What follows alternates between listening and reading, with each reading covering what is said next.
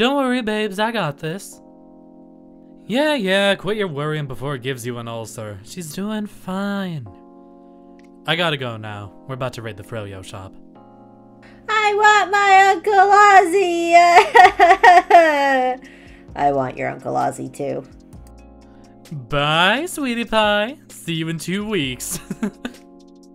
you know, Fizzy, this sure can be exhausting, but it's totally worth it just to see them smile, huh? Hmm? I want to start a family with you. What? Thanks for watching! I hope you enjoyed our video today, and come back for more! If you'd like to support the channel directly, please consider donating to the Ko-fi linked in the description. See you all next time!